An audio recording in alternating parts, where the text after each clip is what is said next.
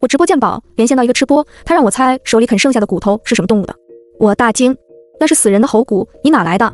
吃播慌了，怎么可能？这是我点的外卖呀！我问他店铺的地址，他却说忘了。直到五分钟后，有人敲响我的房门。你好，你的外卖到了。可我明明没有点外卖。我叫慕容月，是京大考古专业的学生，也是一个著名的直播网红。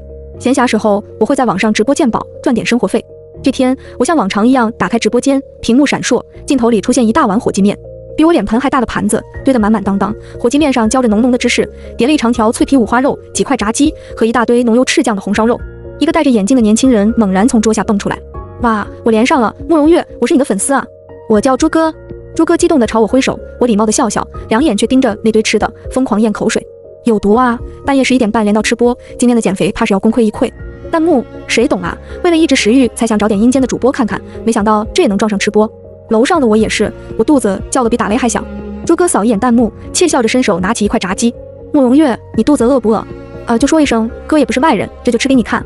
说完，把炸鸡塞进嘴里，咔嚓咔嚓，酥脆的鸡皮在唇齿间碎裂，发出清晰的脆响声，仿佛有香味隔着屏幕飘过来。我的口水快压不住了。你好，朱哥，请问你有什么东西需要鉴定吗？镜头对面，朱哥熟练地拍下标价一千八百元的鉴宝链接，又开始嗦火鸡面。吃溜，我没有啥要鉴定的，就为了蹭点人气。吃溜，自从我的直播间火了以后，经常会有小主播连线我，随便找个东西让我鉴定，主要目的还是蹭流量，这是互惠互利的事。朱哥说的直白，我也不反感。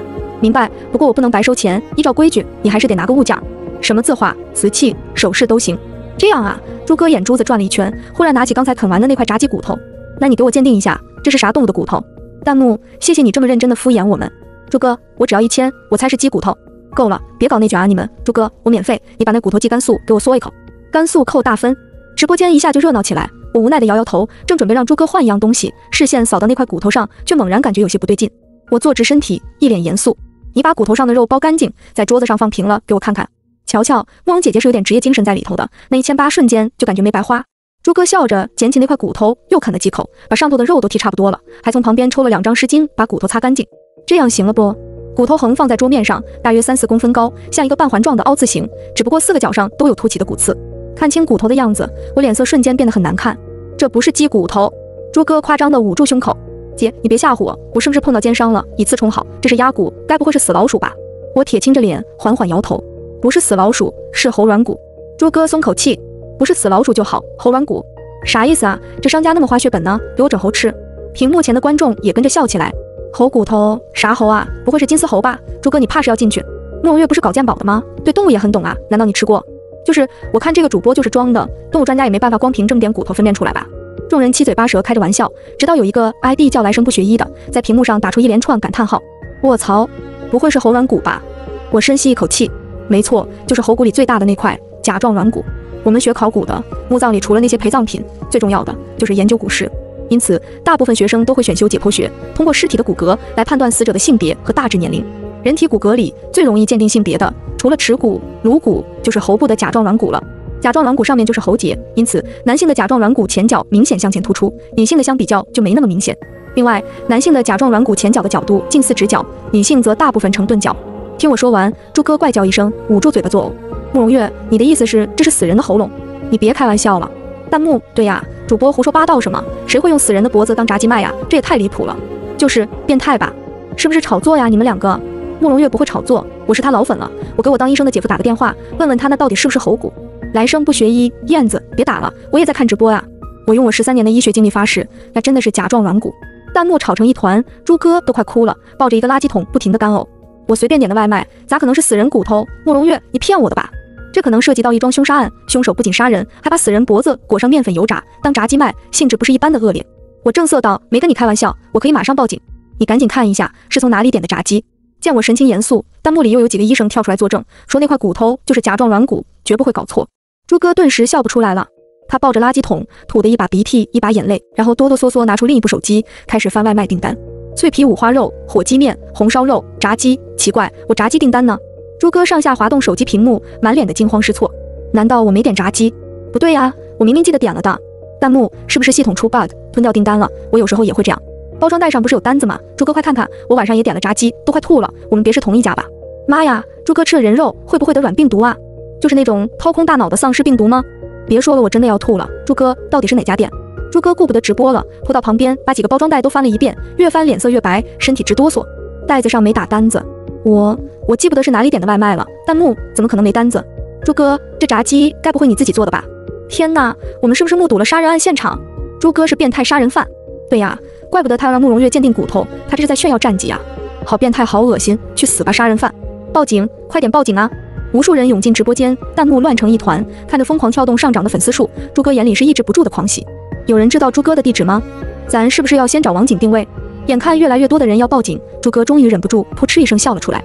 哥几个别呀！哎呀，这不是喉软骨啦，我跟你们开个玩笑而已。朱哥把那块骨头拿在手里，轻轻磕了几下桌面，然后对我竖起大拇指。慕容姐姐，你配合的好牛啊！这几分钟我涨了三十多万粉，不愧是直播一姐。弹幕什么意思？俩主播玩我呢？靠！不是说慕容月从不炒作吗？有拿这种事情开玩笑的吗？脱粉了？对呀，好恶心！我爸是开炸鸡店的，你们这样搞难道就没想过会影响别人生意吗？太贱了！这些网红真是没底线。众人哗然，弹幕上瞬间骂声一片。我皱着眉头，不解地看向镜头，什么意思？我不认识你，不会跟你打配合。而且我刚刚也没开玩笑，那确实是一块甲状软骨。朱哥耸耸肩，嬉皮笑脸地从旁边地上捡起一个外卖袋子，放在桌上，从里面掏出一把厨房的克数电子秤。慕容姐姐，我这是夸你呢，你眼睛真尖，比学医的还厉害，我总算没找错人。那你再仔细瞧瞧，我这块骨头真的是人骨不？没等我说话，他自己又迫不及待地把骨头放在电子秤上称给我们看。我这是假的，石膏做的啦。但目前那么多医学生，总该知道石膏的密度才人体骨头的一半吧？你看我这软骨，才咦，这秤怎么坏了？朱哥重新调整电子秤的电池。观看直播的观众反应过来，纷纷对我们俩破口大骂，都说我们是一伙的，靠这些东西炒作吸引人气，没下线要求平台对我们封号。我盯着那块骨头，越看越觉得诡异。这不可能是石膏。你看见骨头上那几个暗色的点了吗？那是明显的骨痂。人的皮肤受伤以后会流血结痂，骨头受伤也是这样。在骨折之后，骨细胞增生，会在骨折处形成环状骨痂。喉软骨这样特殊的位置，要想造成骨折，必然是颈部被重力绞压。也就是说，死者生前差点被掐死过。人死后骨细胞也不会再生长，没法形成骨痂。所以这人肯定是奄奄一息，又活了下来。而且从这骨痂的大小和颜色看，至少还活了两年。我用力一拍桌子。有人囚禁虐待，还杀人烹食，姓朱的，你最好老实坦白。朱哥吓得一哆嗦，委委屈屈道：“我不姓朱啊，你咋那么凶，审讯我呀？都跟你说了，这是石膏做的，开玩笑的。”就在这时，电子秤的屏幕闪了几闪，朱哥忙把那块骨头放到秤上，看见没有？这啊，这啥呀？只见蓝色的屏幕上出现了一长排的数字六，盯着那串六千六百六十六点六六，所有人都傻眼。弹幕啊，这啥呀？这小骨头片有六千六百六十六克，十三斤呢？我家卖鸡架的，普通的一整个鸡架也就七八十克，不是说石膏比骨头还轻吗？这什么石膏能有这么重？别是称坏了吧？先别管称的事了，这重量不管那是什么东西，反正不可能是人骨。这两个主播还在整活，你们没发现吗？恶心！朱哥不甘心，把那块骨头拿下来，又放其他东西上去，称都是正常的。可就是那块骨头，无论怎么放都是六千六百六十六克，哪怕朱哥加了一个手指摁上去，称也是显示六千六百六十六克。盯着那串数字，我脑子里电光石火间闪过一个念头，我倒吸一口冷气，情急的往前一探，脸对上镜头。不好，这是鬼称骨，他还会回来的。姓朱的，你立刻锁好房门，不管谁叫都不能开。看得出来，朱哥胆子不大。我这一吼，又把他吓了一个哆嗦。谁回来？我朋友吗？就做石膏这个。你咋知道他住这啊？我说实话，他真是送外卖的。不过他今晚有活，天亮才回来呢。话音刚落，咚咚咚，一阵沉闷的敲门声响了起来。朱哥吓一跳，咦，真回来了？咚咚咚，敲门声还在继续，一声接一声，极有耐心。朱哥站起来，准备走过去开门。可刚到门口，又折回来了。慕容月，好像是你那边的声音啊！我扭头看向房门。你好，你的炸鸡到了，可我明明没有点过外卖。今天是周末，寝室里另外两个本地学生都回家了，只剩我和临铺的赵明芳。我坐在书桌前直播，赵明芳早就躺在床上呼呼大睡，打雷都打不醒。外卖肯定也不是他点的。弹幕前的人七嘴八舌的催促：主播怎么不开门啊？外面一直敲门，好吵。对呀，有没有公德心啊？半夜三更，你自己不睡，别人也要睡啊。主播胆真大，这还能吃得下炸鸡？刚才说的鬼称骨又是什么东西？被弹幕一催，朱哥也反应过来。是啊，慕容月，鬼称骨是什么意思？你能不能说明白点？我没在看屏幕，而是死死地盯着房间门，脑子里出现的第一个念头就是这份炸鸡是朱哥的朋友送的。可转念一想，又感觉很荒诞。直播连线是随机的，朱哥的 IP 地址又在另一个城市，哪怕他朋友再厉害，也不可能几分钟的时间顺着网线找到我这里。对门寝室的几个女生都是夜猫子，经常在半夜点夜宵。这份炸鸡十有八九就是他们点的，送外卖的敲错了门。可现在快到半夜十二点了，突然出现这种巧合，就好像你刚看完贞子，家里的电视机忽然开始闪烁黑白雪花，本能的会让人头皮发麻。我坐在椅子上没动，宿舍楼的木门隔音质量一般，对方这么敲，其他寝室肯定也听见了，会去开门的。敲门声越来越急，越来越响。你好，你的炸鸡。躺在上铺的赵明芳不耐烦地翻了个身，伸手捂住耳朵。小月，快去开门，吵死了。嘘，先别说话。我忽然想起来，男生进不了女生宿舍，外面的人有问题。正常来说，校外的外卖都有固定的放置点，需要自己下楼去拿。但是学校附近有一些夜宵店，招了学生当兼职，又跟宿管阿姨打好招呼，晚上是可以送进寝室里的。只不过必须是女生送女生寝室，男生送男生寝室。现在外面这个敲门的明显是男人。赵明芳反应过来，瞪大眼睛，瞌睡虫瞬间跑了个一干二净。他裹紧被子，把头缩了回去。是小偷吗？要不要打电话给保安科呀？好可怕！你好，你们的炸鸡到了。外面的人提高音量，声线转阴柔，听起来竟然像是个女生。赵明芳，咦，是女生？刚刚听错了。小月，快去开门吧。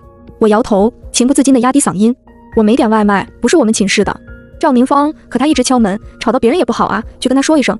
这人也是傻，半夜三更一直敲敲敲，不知道打个电话吗？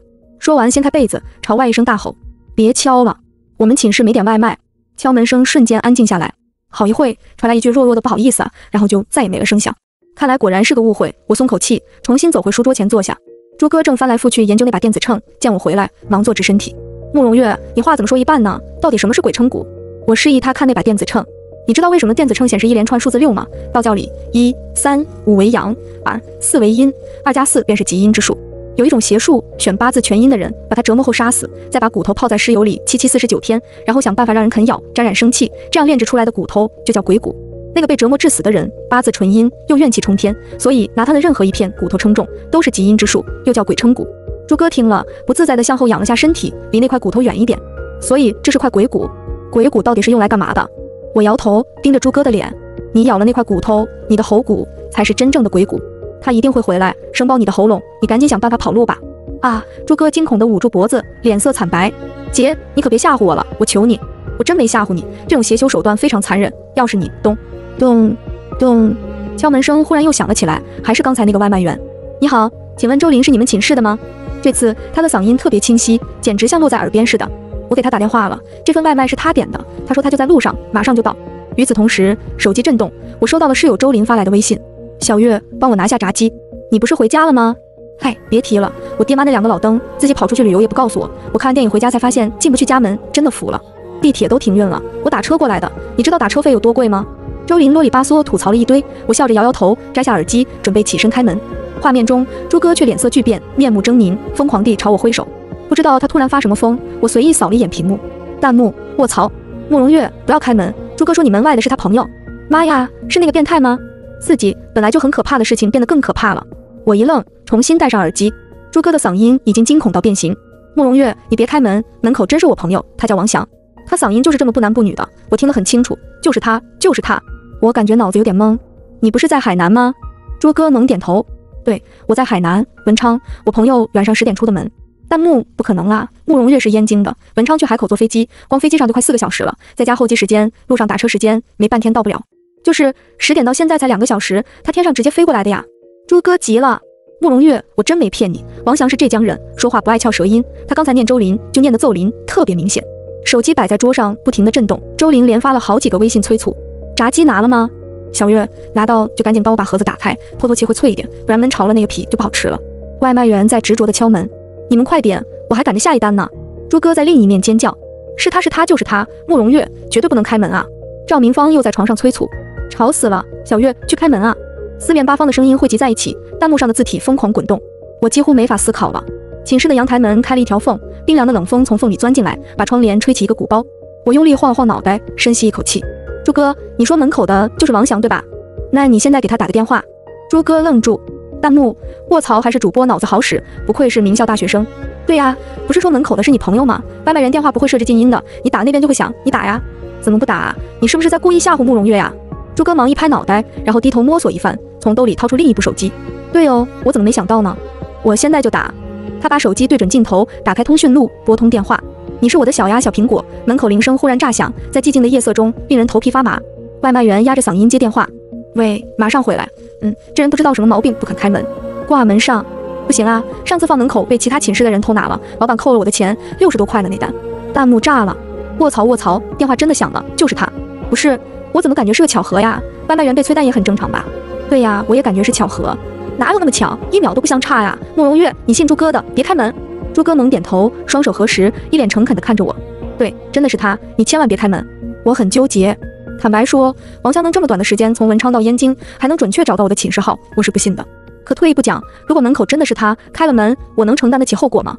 我只是个普普通通的考古专业大学生，因为爷爷盗墓，才勉强接触到一部分常人没有接触过的玄学知识，不会武功，也不会法术，根本搞不赢啊！